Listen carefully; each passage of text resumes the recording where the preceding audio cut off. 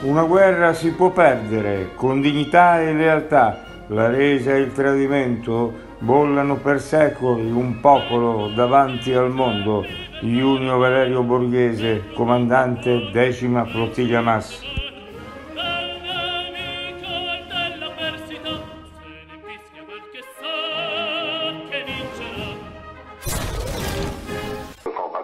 la lutte, c'est la lutte, c'est aussi la mort.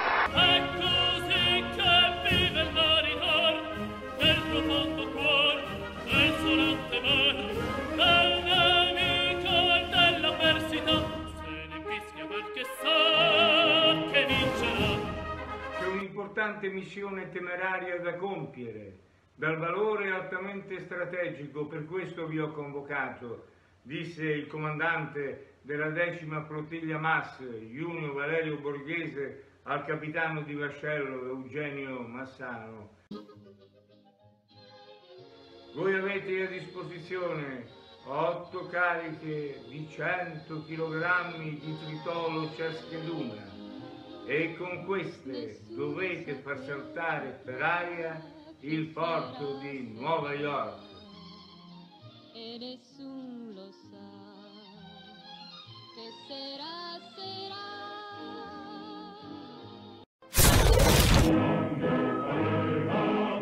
È l'estate del 1942, gli USA sono già in guerra.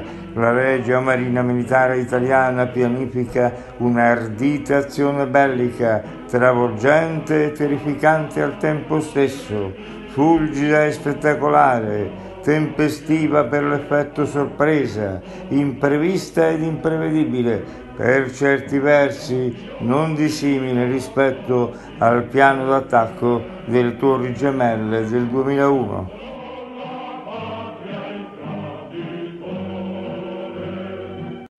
Scelse il sommergibile che era destinato a portare questo attacco ed era il Leonardo da Vinci.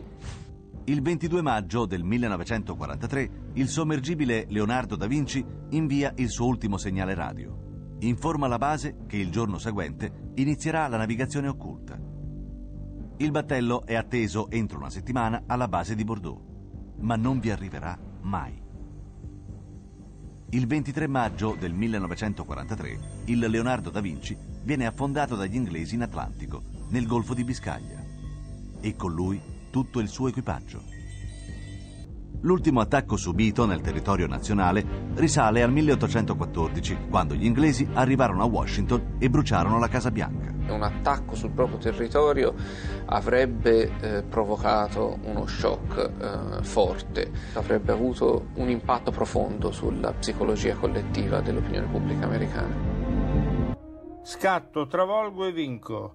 Null'altro più che questa triplice espressione del battaglione fulmine della decima flottiglia Mass può raffigurare l'ardimento, l'onore la fedeltà ancorché l'impavida tenacia di un audace guerriero. Onore al comandante Junio Valerio Borghese.